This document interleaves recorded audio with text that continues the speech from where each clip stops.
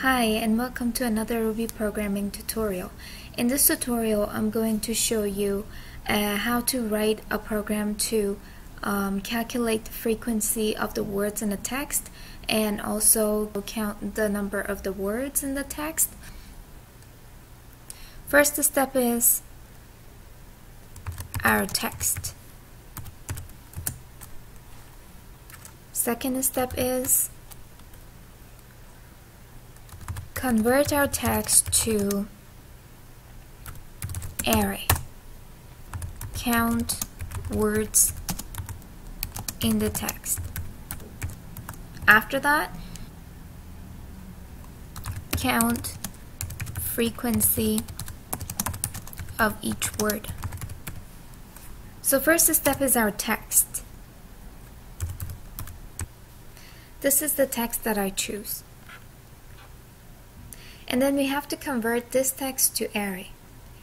Um, in order to do so, since we want to do it in different ways, one with the split and another one with scan, I'm going to assign a different variable to our text so we can save our text.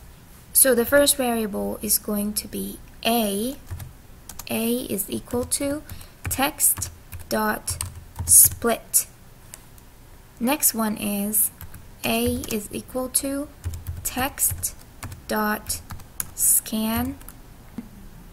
And since we want to be we want them to be separated by words so now that we assign uh, oh sorry this one have to be B because we want to see the differences. So this one is B and and now I'm going to print it so you can see the differences. Puts A puts puts B. Now let's see the output. And another thing is, as you can see, each one of them are on separate line. In order to uh, prevent that, we can put it with prints. So now we're not escaping the line.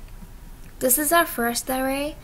Uh, it is my pen is green. As you can see, the slashes is still there.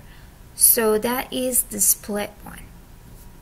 And then in the next one, my pen is green, your pen is blue. It didn't count this it, it didn't count this slash as a word. So that's what we want to use. If you want to try the other splits, other way of doing splits, one of them is without any um, spacing between them now if we look at the output, we'll see that each one of the words, even the space, counts as a um, character.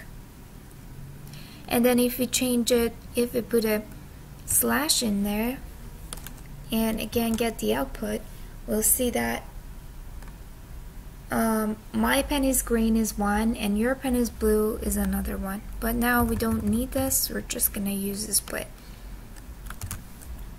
So this is the first part uh, that we converted to array and as we can see here, you can see both of the arrays here. Uh, to make it more neat, I'm just gonna you know, put the backslash in after each one of them so each one of them are going to be on separate lines.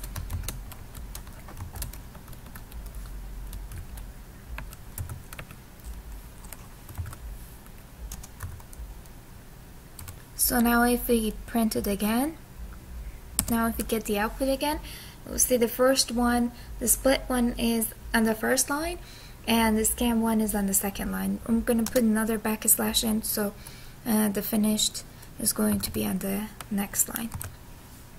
Now it's way better.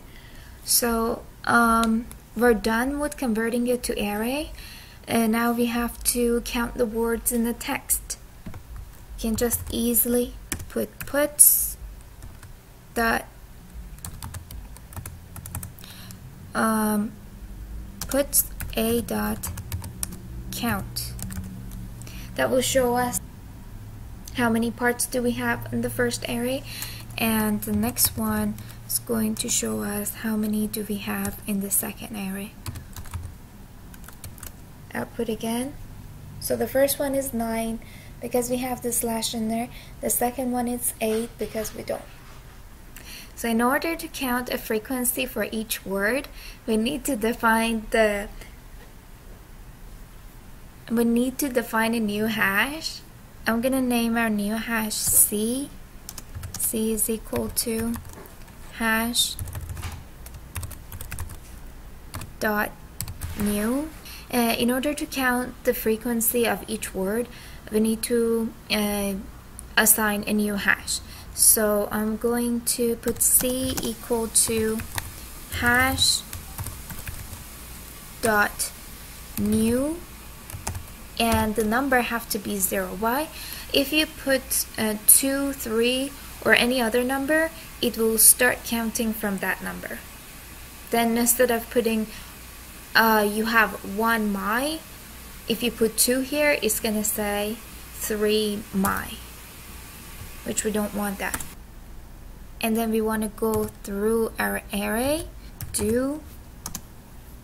We're not gonna use A, we're going to use B. Because we don't want to count slash. So each time that goes through the array, it has to add 1 to the number of the frequency. And then we want to print it so we can see what we did.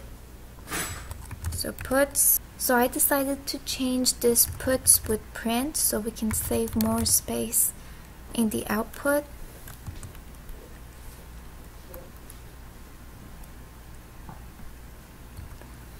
and then at the end we're just gonna print C to see how the final um, hash look like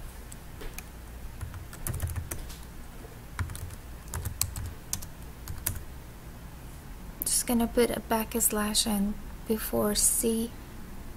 As you can see this is our first array that have a slash in it. The second array is just the words and the count of the first array is 9 the count of the second array is 8 um, then we have to put a space here so it's going to be more readable.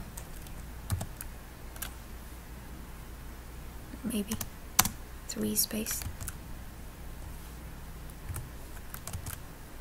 that's better uh, and then uh, we put a new hash and our new hash starts from 0 starts counting my is 1 pen was 1 at the beginning and then here after is is, is is 1, green is 1, your is 1, pen become 2, is became 2, and blue is 1. Then when we print the final uh, hash down, we will see that pen is 2, is is 2. We just have the latest assignment. We don't have 2 pen or 2 is. I hope you enjoyed this video. Thank you for watching and see you in next video.